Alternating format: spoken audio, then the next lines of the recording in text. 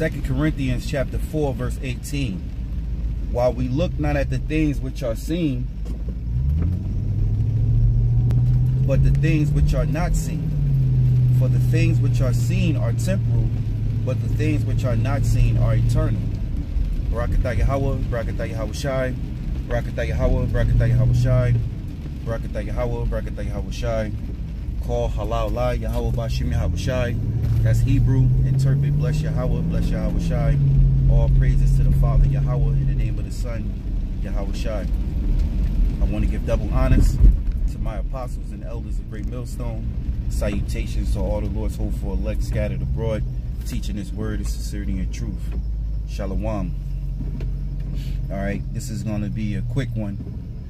And um, this morning, you know, when I woke up, had a, you know, I guess there, you know, had a spirit on me. You know, I just said, you know, everything is temporal.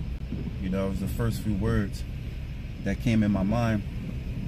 And uh, just thinking upon, you know, everything that we have here or we, we're striving to have in this flesh. And it reminds me of uh, King Solomon when Solomon said everything under the sun is uh, is vanity you know, because, you know, you could work hard for something in the flesh and receive it, but it doesn't mean that it's that is yours forever. You know, we we eventually go back up to the spirit world, and everything that's left here on the earth is uh, given to the next man, or let's say the next person.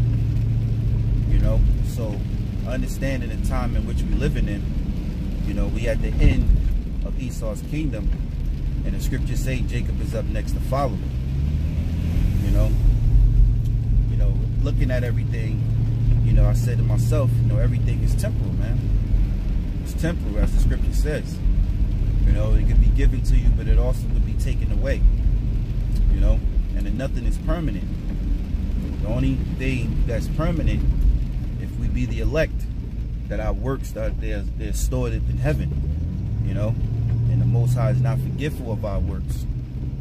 You know, even Yahawashi told the apostles, or you know, they was the disciples at the time when they was coming up to be the apostles. Uh, he said, if you, um, you know, if you uh, lose, I'm gonna roughly paraphrase. He said, if you lose, you know, for my sake, you know, you shall have tenfold know, you lose a woman, lose a child, you know, you lose like, you know, whatever it is, your business, resource, you're going to get even more when the Lord placed that crown upon your head, you know, in the kingdom. All right? So just keep in mind, brothers, that everything here is temporal and it really doesn't matter. And the only thing that does matter is this work, you know, is this truth playing out your lot and doing what the Lord said to do. All right.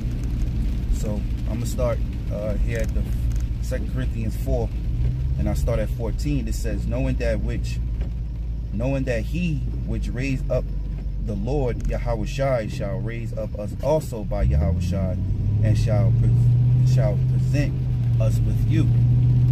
All right, because it's the Heavenly Father, okay, who raised up Yahweh. And it's Yahweh, it was Yahweh that also gave Yahawashi the men who will help Yahawashi. You know, while Yahawashi is in his, you know, is in absence, you know, far as the flesh, you know, there are men who were selected, elected from the spirit world, all right, from the very beginning, okay, that would would uh, continue the work of Yahawashi. All right. So Paul, you know, he's telling these telling the church of Corinth, you know, the righteous men, he says, knowing that he which raised up the Lord Yahawashi shall raise up us also by Yahawashi and shall present us with you. Verse 15, for all things are for your sakes, that the abundant grace through the thanksgiving of many redound to the glory of Yahweh. For which cause we faint not, but though our outward man perish, yet the inward man is renewed day by day. And that inward man is the spirit. You know, it's remind me of the scripture where Paul, uh, excuse me, uh, King David, he said, created me a clean heart and renew a right spirit within me. Because the inward man gets renewed. You know, our flesh get tainted. Our flesh get weak. Our flesh get distracted.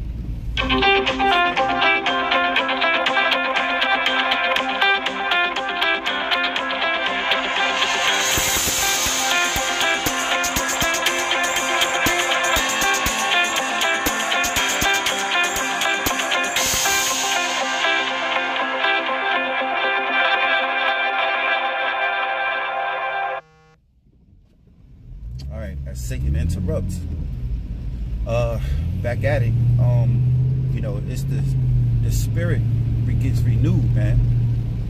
You know, scriptures say the the spirit is willing, but the flesh is weak. All right. So, you know, the elect they live more for their spirit than they live for the flesh, and we have to meditate sometimes in that as we examine ourselves through this faith to see whether we in the truth or not. You know. Know, so like like I said, man, this morning I woke up and the first thing that came upon my mind was everything is temporal. You know, it's temporary because you can get caught up, you know, into uh, what you have, you know, or whatever it is you're striving for, and thinking that you know, you know, you own it. You know, in our reality, we don't own shit, man. You know, we don't own shit. And that's why the kingdom is going to be so much more beautiful because we're going to live forever. So whatever it is that we have, we're going to have it forever, man. And we're going to enjoy it, man. We're going to enjoy it, you know, because we're not truly living, uh, uh, we're not truly living. We're not truly living at all. You know, we're actually just, you know, going through the motions and coping and being content in what, in what life gives you, you know. And that's why Jake you know, they get bored, they get tired, you know, they want to hit the lotto so they can actually, you know, live up, live up their life, you know, live out their life, or say live it up, you know, in a different lifestyle, in a luxurious fashion, you know. But all those things, riches of this world, is a distraction toward Yahweh BaHaSham Yahawashi because the Lord said the fashion of this world gonna pass away. You know? So what's the use of piling on treasures for the flesh in this world when the Lord is going to take this world out? You know? So everything is temporal. So let me continue to read. It says, um, for which cause we faint not, meaning we're not going to fall away of the truth. All right? But though our outward man perish, yet the inward man is renewed day by day. All right? For our light affliction is but for a moment, worketh for us a far more exceeding and eternal weight of glory. And Paul said that this is a light affliction because it is. You know, until that, that terrible, uh, let's say the darker hour, the darkest hour come. But we'll be tested of our faith in the Lord, man. But this is a light affliction compared to having the kingdom forever and living forever, man. Being perfect in Yahweh BaHaSham Yahawashi. You know, this is definitely a light affliction. And I remember, uh, I can't think of the scripture where it's at, but uh, I think it's in the Apocrypha um Salakia, I don't want to butcher it, but I think it's around the lines of um uh, you forget about uh, adversity when you have prosperity, you know. Salakia, but I know it's something around those lines. But let me continue. Like I said, it's gonna be a quick one. Uh, verse 18. While we look not at the things which are seen, but at the things that which are not seen. So we're not focused on, you know, the hopeful elect. We're not focused on the things that we can see. You know, we're not putting our heart, spirit into the things that we can grab hold onto. You know, even though we have to take care of responsibility that, you know, but, you know, we're not living our life for the flesh, you know, for the things that we can see. It says, while we look not at the things which are seen, but at the things which are not seen. And what's not seen, the kingdom. You know, what's not seen, what's not seen is Yahweh BaHaSham Yahweh Shah's returning, man. All right. It says, but at the things which are not seen, for the things that which are seen are temporal, but the things which are but the, but the things which are not seen are eternal.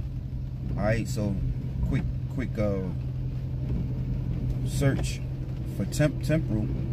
It says temporal uh, for a season, enduring only for a while, temporary, for a while, for a time, temporal, for a season.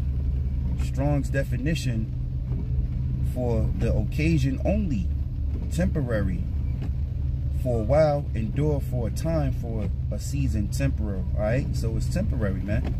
So only we going through this shit under Esau, you know, it's just temporary, man. You know, it seems longer than what it is, but it's actually just temporary. So it says, for the things that which are seen are temporal, but the things that which are not seen are eternal. All right, and what's not seen, like I said, is the kingdom. Yahawashi returning, you know, the elect, King David, all right, 12, 12 apostles that walk with Yahawashi, all of us being made perfect. You know, uh, scripture say love worketh no ill to his neighbor, you know, because we're keeping of the law. You know, no more vexation between Judah and Ephraim. You know, women in order. You know, we're, we're ruling the earth. You know, uh, great food. You know, animals at peace. The, the, the trees are at peace. The world is at peace. That's what's not seen. You know, and two thirds of our people, they don't look forward to that. They can't imagine that. But we see it.